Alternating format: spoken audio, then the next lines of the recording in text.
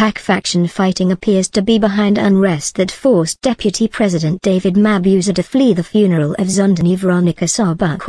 The funeral of the wife of late struggle icon Robert Sobukwe, Zondeni Veronica Sobukwe, was disrupted on Saturday by factions of the Pan-Africanist Congress PAC. The first disruptions occurred when members of the PAC, some of them in military gear, sang struggle songs during the police parade. They then forced their way into the funeral venue and demanded to replace state branding with party branding. Earlier, PAC factional battles came to the fore at the funeral.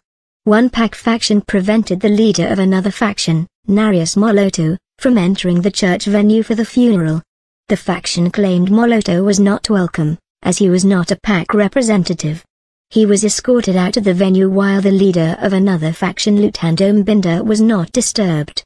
Speaking to the African news agency ANA after the incident, Moloto said this was the work of the hooligans who came to disrupt the funeral.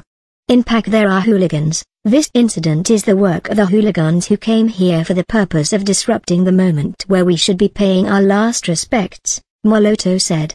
A video shows the funeral, held in Graaff-Reinet in the Eastern Cape, descending into dramatic scenes of chaos as various officials call for calm.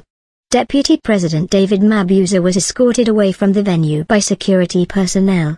Sobukwe family spokesperson Sizwe Mfaksa says it is unclear whether he will be returning to deliver a eulogy as planned.